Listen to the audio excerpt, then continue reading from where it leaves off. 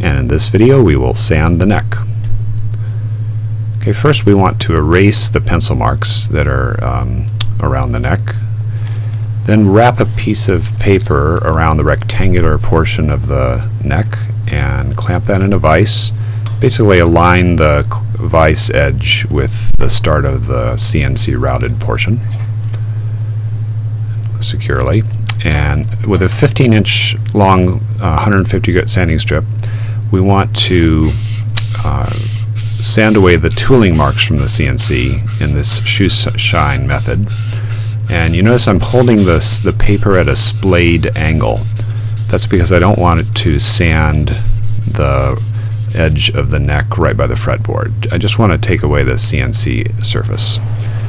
Uh, after that's done, that cross grain goes quickly. Now we want to remove those cross grain scratches and we use a rubber sanding block, 150 grit. And this will take a little while. It'll particularly take a while in the transitions because we haven't really done those yet. Uh, there'll be some tooling marks there and that will be time consuming. You, you could even go 120 grit and then up it later. Uh, you could also use a sanding cylinder, uh, which is not shown in the video, but you can see your instructor for that. Okay, this is optional. Um, after the 150 grit, you can up this, the grit size to 180 or 220, and this will produce a very nice, smooth surface. So all along the neck, that'll take a while, um, and do the transitions as well. You want to inspect along the way uh, to make sure you've gotten most of it. Make sure it feels smooth. Okay, now we can work on the flat surfaces just to make them look good. Um, sanding block, roughly 180 grit.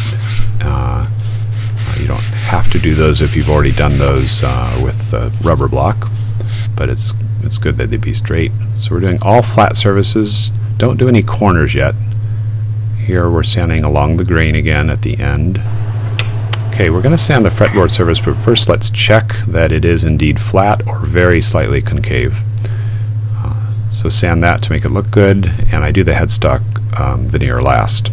Okay, now that all the flat surfaces are done, now you can do the corners.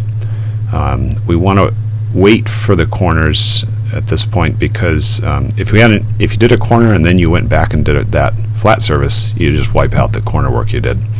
So this is the fretboard edge, and here you want a pretty heavy chamfer, about a sixteenth of an inch uh, radius or chamfer to make it comfortable. This step is optional. I think it looks a little better if we put a fairly heavy chamfer at the end of the neck where it meets the body, and there I'm getting rid of the burn marks.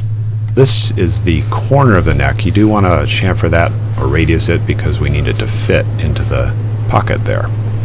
Okay, now the neck's slightly too wide, and that's normal. Now with the 120 grit block, uh, we are going to narrow the, uh, the neck until it's a nice slip fit and we want to see it go all the way to the back of the um, pocket like shown there.